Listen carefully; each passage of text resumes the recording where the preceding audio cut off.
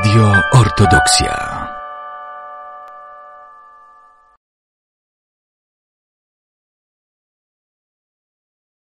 Bracia i siostry, miło mi, że dzisiaj będę mógł podzielić się z Wami kilkoma takimi spostrzeżeniami, refleksjami, można powiedzieć też y, z pewną historią, bo też tak można powiedzieć, związaną z kanonem świętego Andrzeja z Krety. Przygotowałem kilka takich ujęć, powiedzmy i tekstów, ale też kilka informacji na początek o świętym samym Andrzeju, Andrzeju z Krety. Takiego, tak jest on przedstawiany jako biskup Krety, natomiast on był biskupem miasta Gortyna.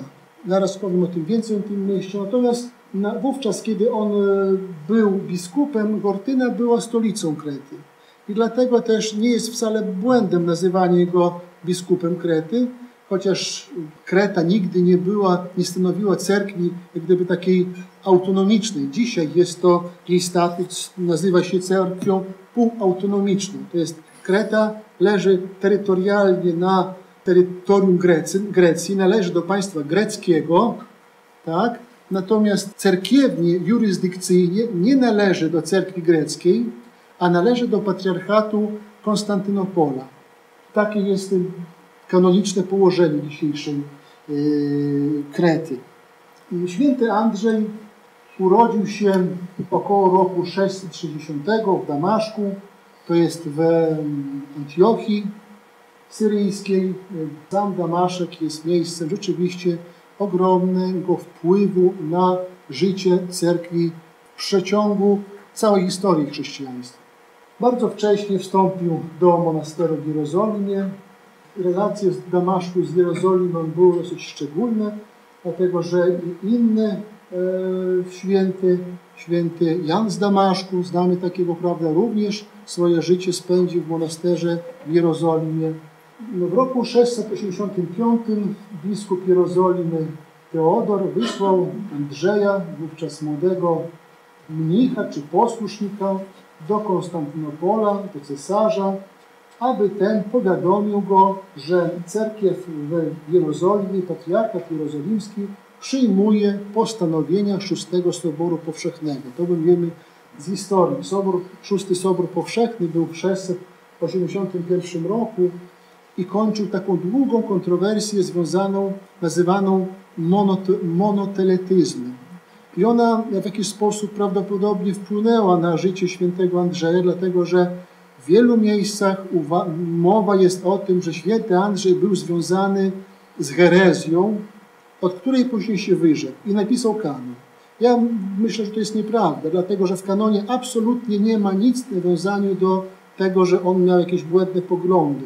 Natomiast w samym kanonie jest tekst nawiązujący absolutnie do wewnętrznego pokajania. Potem został w Jerozolimie, w Konstantynopolu, został wyświęcony na diakona, zarządzał sierocińcem, domem dla starszych osób. W roku prawdopodobnie 692 został wyświęcony biskupa i mianowany biskupem miasta Gortyna na Krecie. To jest mapka Krety i na takich mapkach, gdzie są zaznaczone najważniejsze miasta, to właściwie próżno byłoby szukać miasta Gortyna dlatego że ono jest małym miastem. Dzisiaj jest małym miastem. Natomiast e, wówczas, kiedy święty Andrzej został biskupem tego miasta, była stolicą Krety i znajdowała się mniej więcej, ona się znajduje dalej, miasto na południowym wybrzeżu Krety, mniej więcej w tym miejscu. I właściwie to jest region dzisiaj. I trzeba powiedzieć, że jest to prawdopodobnie największy region archeologiczny we współczesnej Grecji, Grecji, nie tylko Krety, całej Grecji, ze względu na e, wykopki archeologiczne. Odkrywa się e, na nowo miasto Gortyna. To jest przepiękne miasto, które e, istniało jeszcze siedem wieków przed Chrystusem, natomiast w okresie rzymskim w 67 roku po Chrystusie, to jest kiedy apostoł Paweł zaczynał głosić Słowo Boże i kiedy był na Krecie i kiedy ustanawiał swego ucznia apostoła Tytusa pierwszym biskupem Krety, wówczas Kortyna preobratała, brała, zaczynała być stolicą. W 67 roku Rzymianie zainteresowali się Kretą i napadli, zajęli wyspy. Kretańczycy różnie odnieśli się do, tych, do inwazji rzymskiej. E, jedni z radością ich przyjmowali, a inni wrogo. Mieszkańcy Hortyny przyjmowali otwarcie Rzym. Hortyna w tym czasie nie była stolicą. Stolicą był miasto Knossos. E, jest to uważane dzisiaj za kolebkę, miasto uważane za kolebkę cywilizacji europejskiej. Odkrycia archeologiczne stwierdzają, że co jest miarą tej cywilizacji. A okazuje się, że jest to bieżąca woda. I w e, Kreteńczycy właśnie Knossos w pałacu króla Minosa po raz pierwszy w Europie zaistniały e, wodne łazienki i kanalizacja wodna. Uważa się Knossos za kolebkę cywilizacji europejskiej i Knossos e, konkurowało w jakiś sposób z Hortyną o przewodnictwo. Ale Rzymianie spowodowali to, że Gortyna stała się miastem, stolicą stała się. I nawet e, do tego stopnia, że była ona nie tylko stolicą dla Krety, ale też dla innych prowincji rzymskich, części północnej Afryki, nazywały się tzw. Tak Cyrenejki. E, więc znaczenie Gortyny bardzo mocno wzrosło i od I wieku do VIII wieku właściwie było to stolica. I prawdopodobnie, jeśli apostoł Tytus do którego apostoł Paweł pisał listy, właśnie znajdował się w Gortynie. Tam on prowadził misję i jak się okazuje, mieszkańcy miasta Gortyna nie tylko byli otwarci dla Rzymian, ale też byli otwarci dla nowego, nowego nauczania, dla Słowa Bożego. W VIII wieku miało miejsce trzęsienie ziemi i to w pewien sposób, w znaczący sposób wpłynęło na zanik znaczenia miasta Gortyna, stolicy. Natomiast można tak powiedzieć, kropkę nad i postawiła inwazja arabska, która właściwie przeniosła stolicę, zniszczyła stolicę i przeniosła stolicę w nowe miejsce. I dzisiaj z południowego wybrzeża przeniesiono stolicę na północne wybrzeże. Heraklion, tutaj zaznaczony już jest dużym drukiem, jest to współczesna stolica Krety, od IX wieku pełni tą funkcję. E, sobór, który odbył się w 2016 roku, Wielki Sobór Cerkwi Prawosławnej, miał miejsce, które nazywa się Kolimbari. To jest tak już bardzo mało turystyczne miejsce. Kreta jest podzielona na kilka departamentów. Tam jest Kania, e, Rekimno, Heraklion, Agios Nikolaus i jeszcze jedno. Ale to już tak nie ma wiele wspólnego ze świętym e, Andrzejem. A więc Gortyna e, dzisiaj też stanowi metropolię, jedną z chyba 12 metropolii albo 8 na Krecie, e, natomiast jako miasto polityczne już jest mało znaczące. Natomiast kiedy święty Andrzej pełnił swoją funkcję, ono wówczas było stolicą wyspy. W roku 712 święty Andrzej uczestniczył w soborze w Konstantynopolu, gdzie potwierdzono naukę o dwóch wolach, dwóch energiach w Chrystusie. Natomiast herezja, które mówiły, że w Chrystusie jest jedna wola, jedna energia boska, nazywana jest monoteletyzmem. To troszkę skomplikowana sprawa i my nie będziemy się zajmować. Więc o tym, że święty Andrzej był początkowo zwolennikiem tej nauki, już wspomnieliśmy. W okresie cesarza Leona III, cesarza Izauliczyka, tego, który wprowadził ikonoklazm, święty Andrzej stanął w obronie ikon, zmarł w roku 740 na wyspie Mitili. Jest to wyspa w kulturze polskiej, może albo europejskiej, znana jako Lesbos, w czasie podróży z, Konstantynopo z Konstantynopola na Kretę. Być może słyszeliście Państwo, również Kreta, ale też i Lesbos stają się miejscem, gdzie e, mieszkańcy północnej Afryki, Libii, e, Algierii, prawda, szukają schronienia w Europie. Prawda, na dole tutaj mamy e, Morze Libijskie, jeśli chodzi o twórczość e, świętego Andrzeja, ona nie jest aż tak mocno znana. Jest on przede wszystkim autorem kanonów, które są poświęcone Bogorodicy. I ten szacunek i wielka miłość do Bogorodicy bardzo często przejawia się w jego i pismach. Fakt, napisał kilka kanonów e, poświęconych Bogorodicy, również mów na Błahowieszczenie, czyli zwiastowanie, na Rodzestwo Bogorodicy, na uspienie. Natomiast takim najbardziej znanym jest jego w twórczości Wielki Kanon, którym nazywamy Wielkim Kanonem świętego Andrzeja z Krety. Hymnografia wschodnia zna wiele różnych hymnów, które są w cerkwiach wykorzystywane. Jednym z pierwszych są to, jest to tropariony, można tak powiedzieć. Są to krótkie, jednostrofowe hymny odnoszące się do święta albo wydarzenia religijnego, albo świętego i znane były one już w IV wieku, natomiast coraz szerzej były, upowszechniły się od V wieku. Tutaj ja mam kanon świętego Andrzeja z Krety, na pewno znacie Państwo tą książeczkę. Te wszystkie wersety, powiedzmy tak, które Baciuszka czyta w czasie nabożeństwa, to są właśnie tropariony, to są tropary.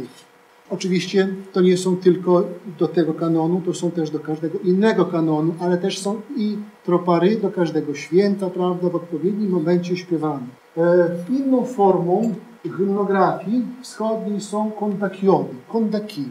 Inaczej nazywa się to śpiewane kazanie z doksologią. To znaczy tekst również krótki, ale już nie jest taki to tekst poetyczny, nawiązujący do opowiada treść danego święta. Jest kondak świętego, jest kondak święta, każde święto ma swój tropar i swój kondak. Kondakiony są troszeczkę późniejszym, można powiedzieć tak, wynalazkiem. E, wiążą się one z imieniem świętego Romana Słodkopiewca, Melodosa z przełomu V i VI wieku. Dlaczego o tym mówię? Dlatego, że bardzo ważną częścią kanonu, o którym dzisiaj mówimy, prawda, są tropariony. E, są oczywiście inne hymny. I teraz kanon, który jest również gdyby częścią hymnografii prawosławnej.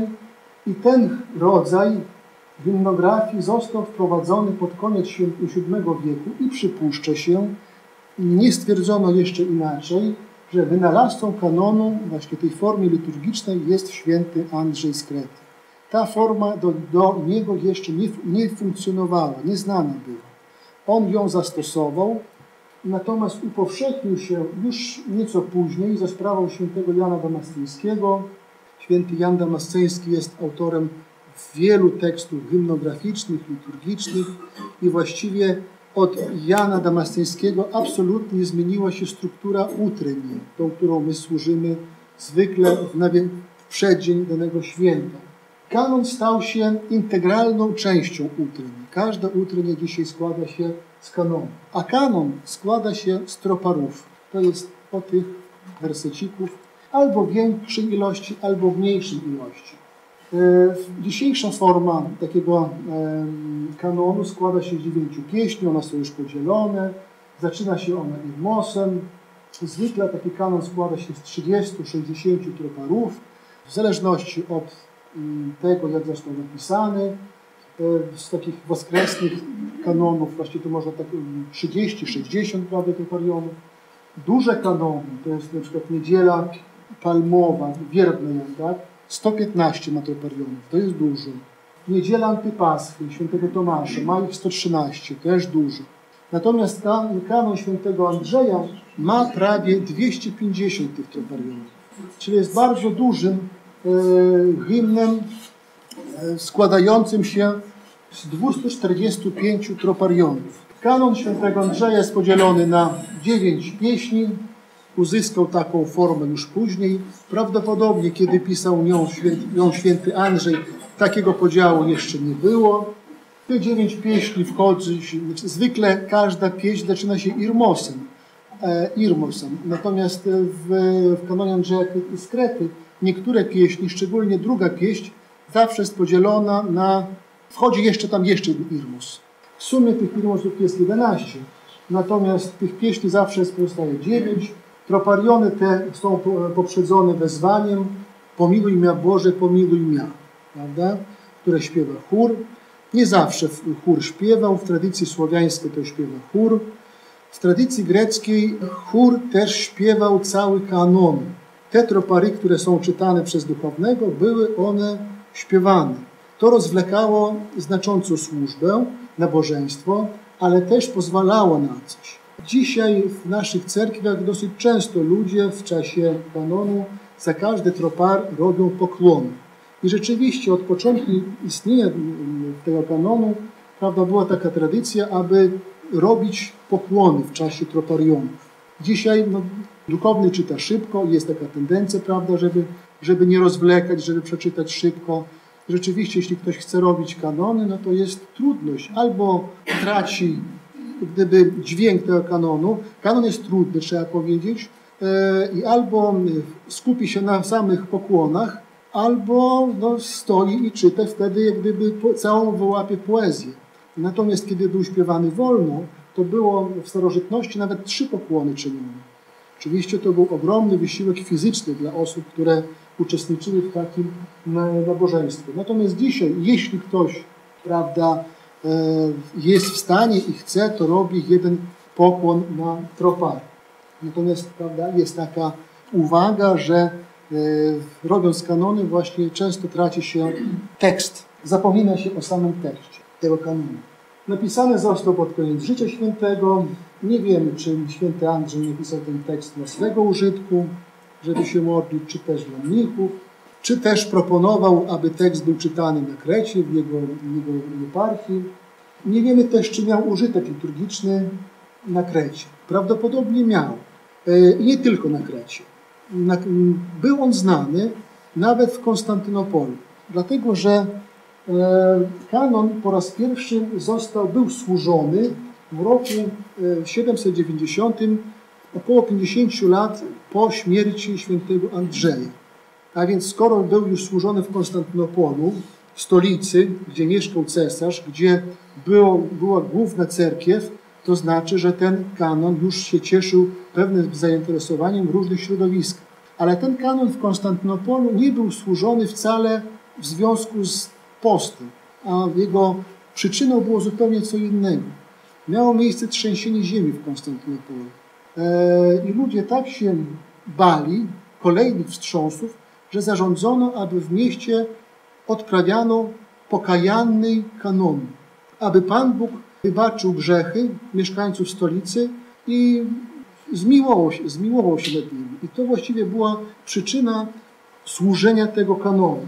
Natomiast y, bardzo szybko zauważono, że ten kanon absolutnie pasuje do charakteru postnego. W związku, gdyby na znak pokajania mieszkańców stolicy, kanon został wprowadzony na stałe do nabożeństw wielkopostnych piątego tygodnia. Zastanawiano się, kiedy można jego jeszcze umieścić. E, już niedzielę niektóre były zajęte. Krestopokłonna było bardzo wcześnie wyznaczono, że to jest niedziela w poście, która E, w szczególny sposób oddaje szacunek dla krzyża, więc umieszczono ją w tygodniu poprzedzającym niedzielę ku czci świętej Marii z Egiptu.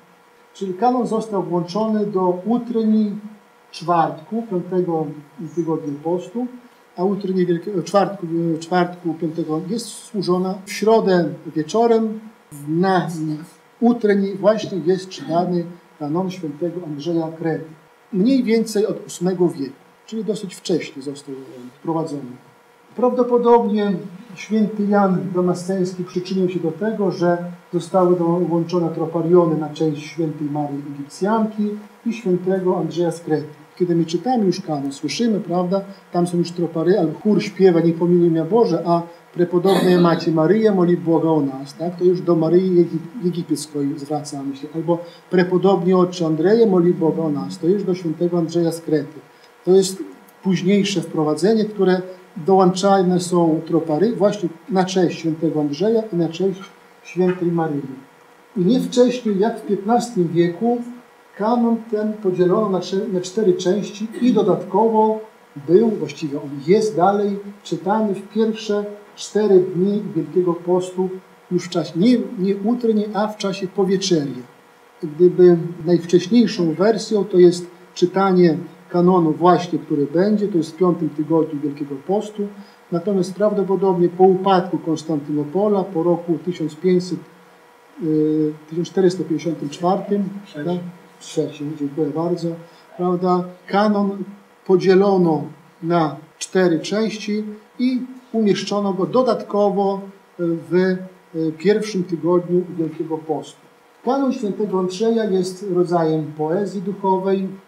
Tak jak poezja bywa często trudna, są porównania, są alegorie, prawda, są przenośnie.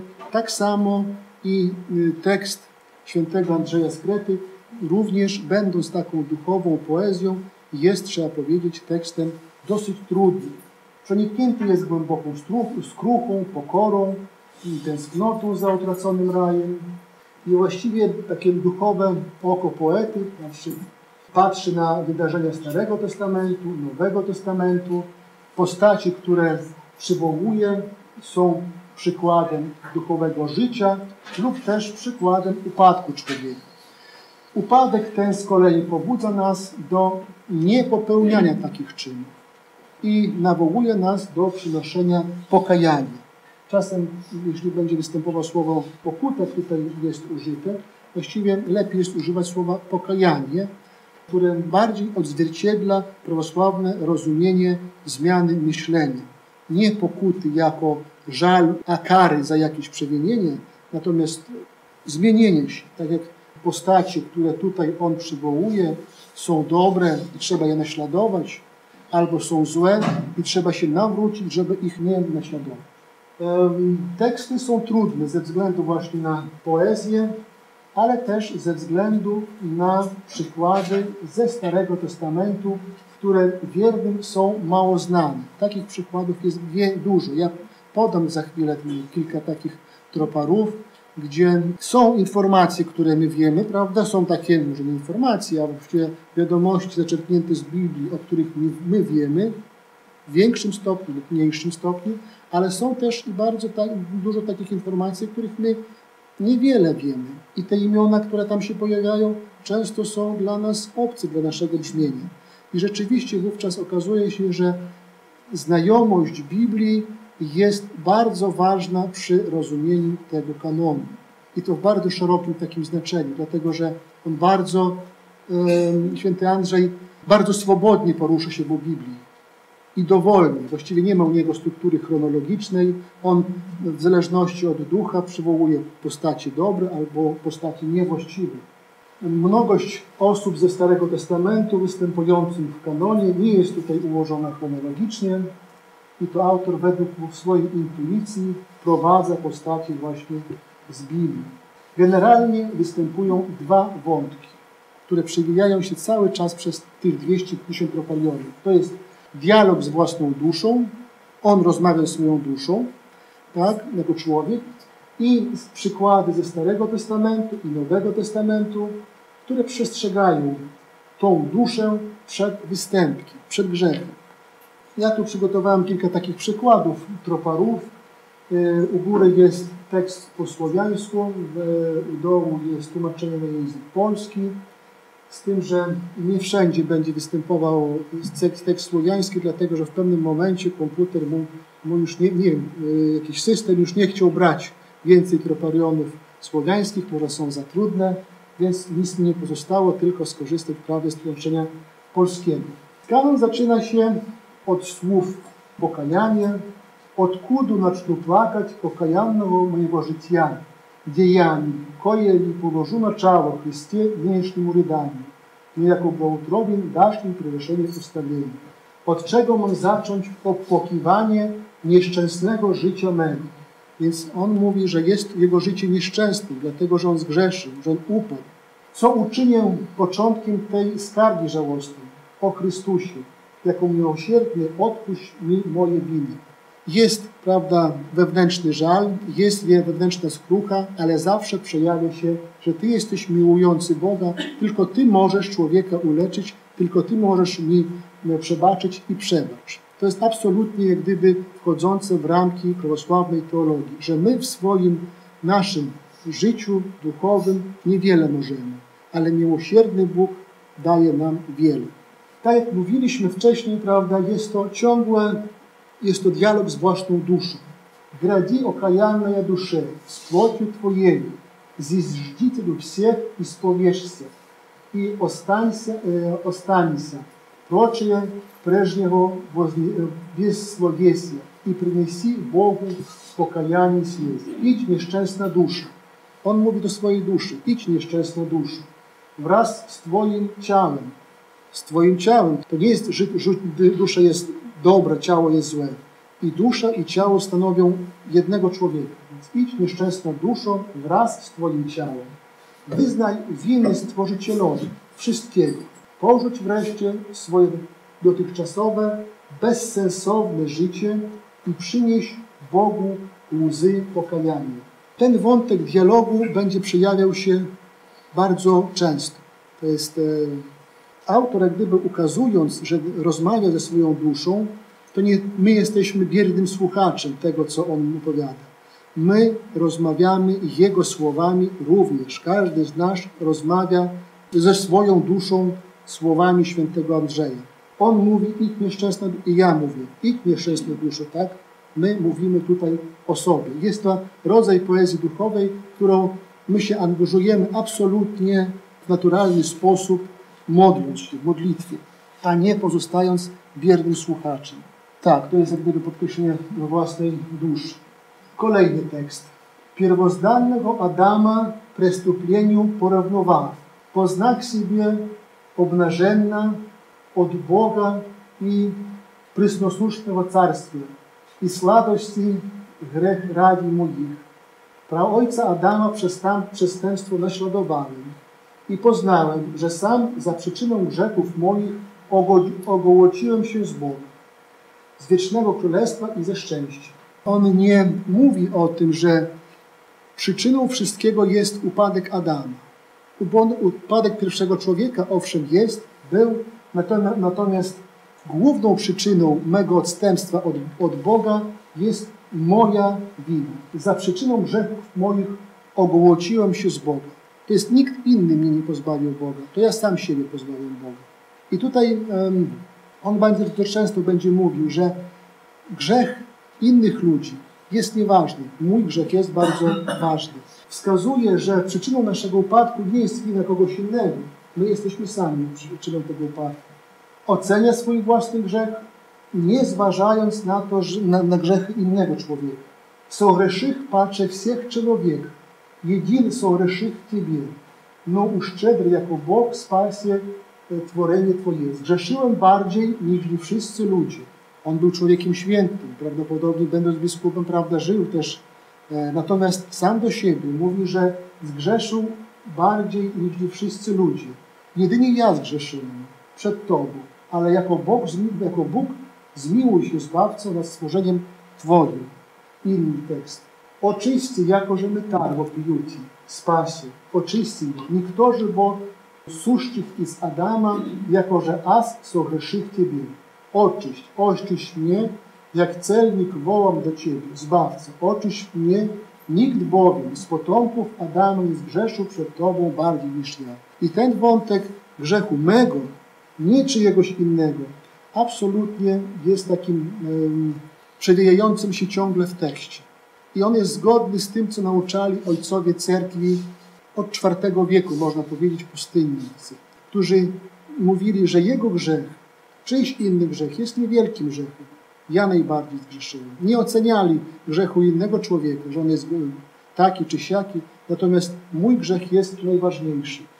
Zgrzeszyłem, Panie, zgrzeszyłem przed Tobą. Oczyś mnie, bo nie ma wśród ludzi grzesznika, którego nie przerósłbym grzechami. Więc takie te motywy przejawiają się przez wszystkie pieśni. Porównania i analogie do historii biblijnej. Są teksty nietrudne, a są teksty i trudne. W разбойники впады аз Jesu, pomyśleniami mnogimi, wieś od nich ujarzwихся, nynie i исполнихся rany. Wiedziony mymi zmysłami stałem się tym, który wpadł między zbójców. Teraz cały jestem przez nich poraniony i pełen chorób, ale Ty sam, Chrystus, baw, przyjdź i ulecz mnie. I on ma dalej ten tekst, następny tropamion, już mi zabrakło słowiańskiego. Gdyby kontynuuje myśl tamtą. Kapłan, zobaczywszy mnie, przeszedł obok i Lewita, widząc mnie w nieszczęściu nagiego, wzgardził mnie. Ale Ty, Jezusie, który z Maryi zajaśniałeś, przyjdź i ulituj się nade mną. Podejrzewam, że wielu z nas tu obecnych będzie znało analogię, z której skorzystał autor kanonu. Chodzi tutaj o miłosiernego Samarytanina, prawda? którego my y, znamy i którego e, niedziela poświęcona, jedna z niedziel właśnie o tak zwanym, a o miłosiernym Samarytaninie, ja tutaj pozwolę sobie króciutko przeczytać, tak? Jezus, naśladując, nawiązując do tego, że to jest e, e, Jezus rozmawia z Żydami, którzy zapytali się, kto jest moim bliźnim. I wtedy Chrystus mówi przepowiedź. Pewien człowiek schodził z Jerozolimy do Jericha i wpadł w ręce zbójców. Ci nie tylko, że go obdarli, lecz jeszcze rany mu zadali i zostawiwszy na pół umarłego odeszli. Przypadkiem przechodził tą drogą pewien kapłan. Zobaczył go i minął. Tak samo Lewita, gdy przyszedł na to miejsce i zobaczył go, minął. Pewien zaś Samarytanin, będąc w podróży, przechodził również obok niego. Gdy go zobaczył, wzruszył się głęboko. Podszedł do niego, opatrzył mu rany i tak dalej. Czy tam prawdziwym e, bliźnim jest Samarytanin w Ewangelii. Tu już nie ma nawiązania do Samarytanin, Samarytanina, natomiast absolutnie występuje i kapłan, i lewita, którzy tego człowieka pozostawili bez opieki. I tutaj kapłan, zobaczywszy mnie, przeszedł obok i lewita, widząc mnie w nieszczęściu nagiego, wzgardził mnie. I teraz wraca się do Chrystusa. Ale Ty, który z Maryi zajaśniałeś, przyjdź, ulecz jej. Właściwie ta analogia związana z Samarytaninem, z kapłanem, lewitą jest mniej więcej nam znana. A mniej takim znanym jest przykład e, historii grzechu Dawida. W siódmej pieśni występuje. Nie ma tutaj słowiańskiego tekstu. E, jeśli nawet przodek Boga, Dawid, niegdyś bardzo zgrzeszył, czy przodek Boga, to jest praojciec Jezusa Chrystusa po linii ludzkiej, tak? Niegdyś bardzo zgrzeszył, strzałą nierządu ugodzony i włócznią okrutnego zabójstwa zniewolony, to Ty, duszo moja, cierpisz za gorsze czyny popełnione pod wpływem samowolnych rządz. I dalej. Niegdyś Dawid przyłożył do nieprawości nieprawość, dodając do zabójstwa nierząd, lecz natychmiast głęboko się pokajał. Ty, duszo, uczyniłaś większe zło i nie kajałeś się przed Bogiem. Prawda? Żeby zrozumieć ten tekst, trzeba prawda, wiedzieć, jaki to y, popełnił grzech król Dawid. Ta historia Dawida jest zapisana w, w Księdze Starego Testamentu, w Księdze drugiej Samuela, rozdział 11-12, kiedy e, Dawid prawda, zobaczył kąpiącą się kobietę, zapytał się, kim ona jest. Ona jest e, żoną jednego z jego oficerów. Tak? E, kazał zawołać ją do siebie, on zgrzeszył z nią. Kiedy się okazało, że ona jest w ciąży, kazał wezwać tego oficera. Historia dosyć taka dosyć długa, bardzo pobożnego człowieka.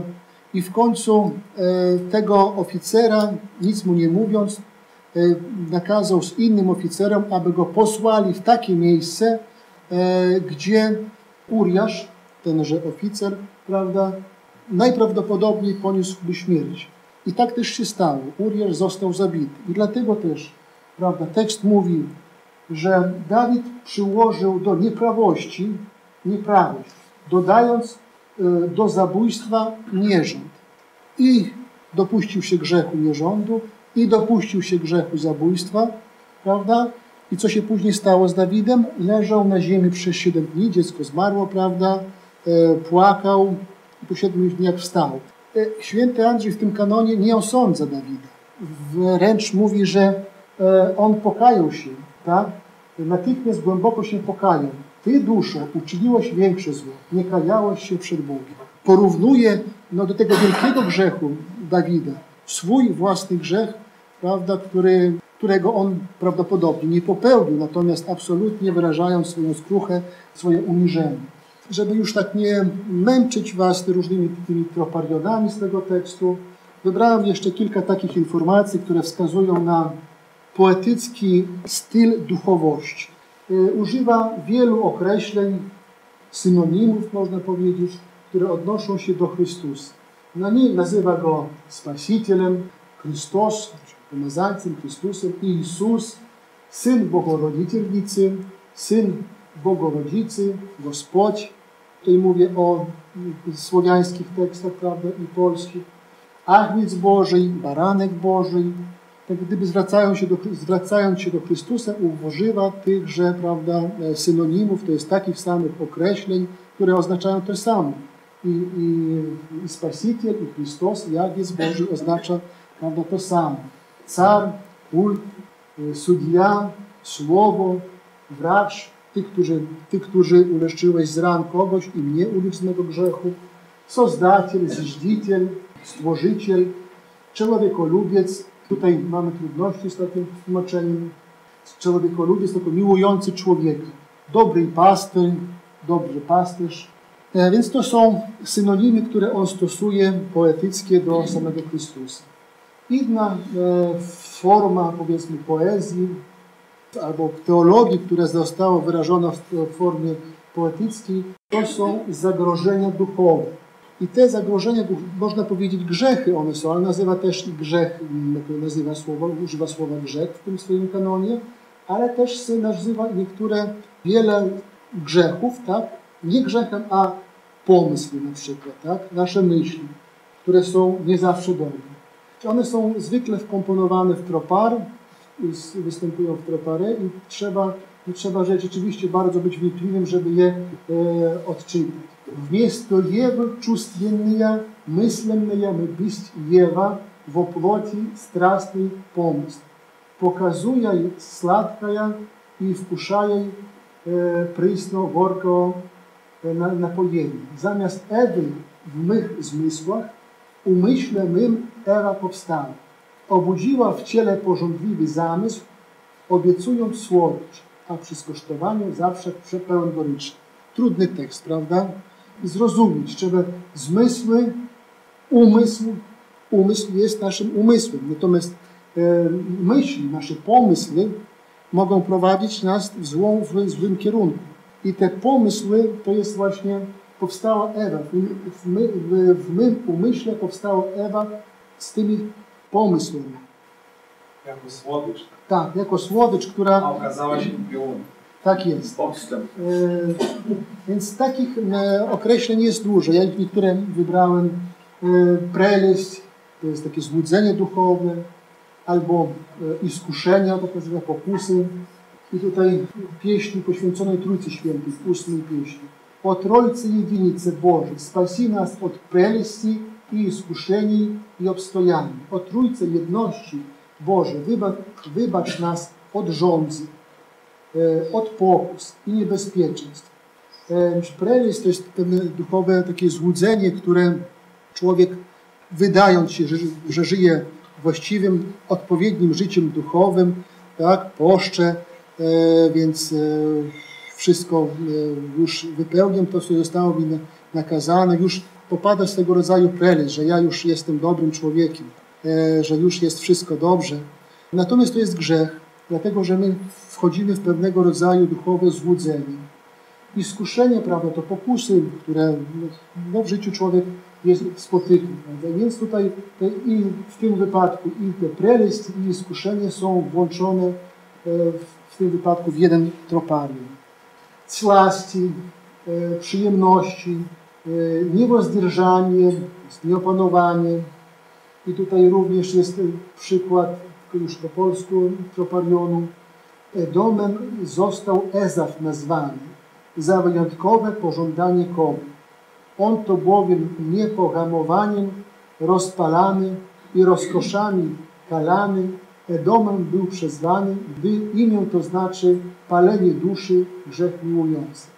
Tutaj również okazuje się, że to jest bardzo trudne, tego, że jest opis związany z Księgą Rodzaju, natomiast właśnie ten Edom, który został Ezawem nazwany za swoją niemoralną postawę, prawda, został w taki sposób e, przezwany. I tutaj są i slaści, i niewozdержani. On był i niewozdержani, i slaści rozwijał sobie.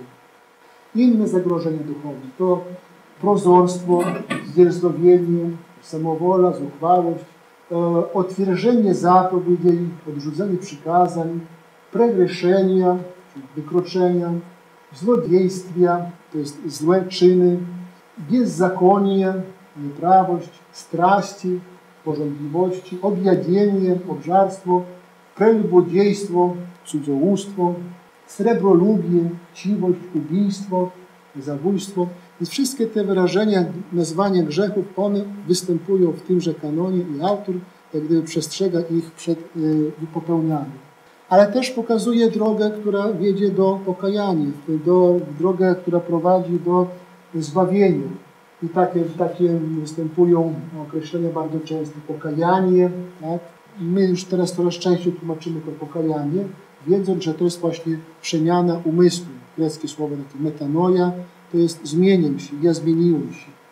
Umilenie, głęboka skrucha, slezy, płacz, płacz, e, łzy, płacz, rydanie, można przetłumaczyć jako lamentację, pamięć śmiertna, pamięć o śmierci, trezwienie duszy, trzeźwość duszy, bdienie duszy, trzeźwość duszy, smirenie, pokora, modlitwa, post, dziejanie, czyn działania, które powrócą, pomogą Tobie nawrócić się. Dobrodzieciel, cnota, czystota, czystość, celomudrie, to jest tłumaczone jako roztropność, umiar, zrenie, znaczenie kontemplacji. I tak już na koniec, prawda, my właściwie to już powiedzieliśmy, że taki ten problem, temat przewodni to jest problem trwania w grzechu i oddzielenie od Boga. Autor stwierdza swoje trwanie w grzechu, a przez jego poezję i my stwierdzamy w sobie e, w jakiś sposób oddzielani od Boga, ale też i wyrażamy swoją skruchę i chęć powrotu do Boga. I cały czas następuje ten proces poprzez dialog z własną duszą.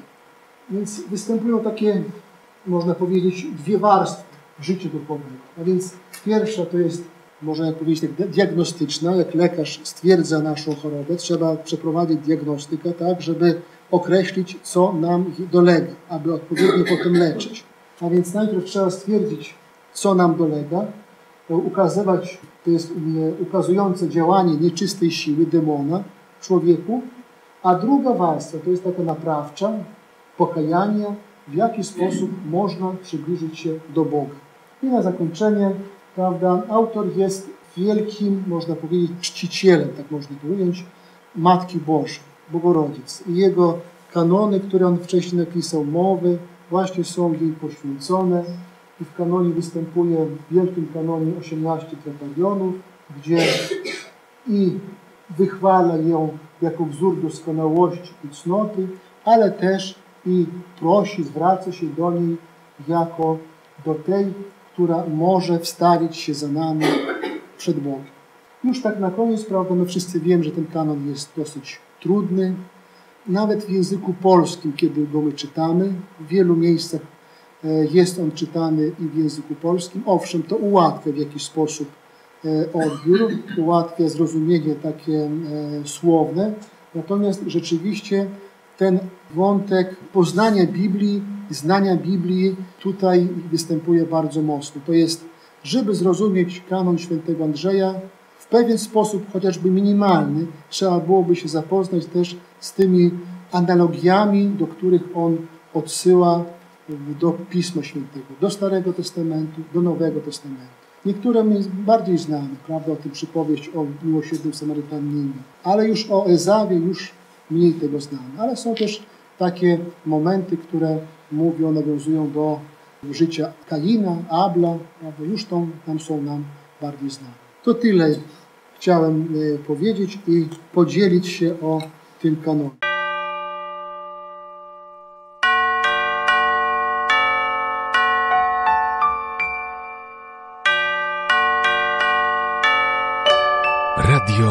Ortodoksja.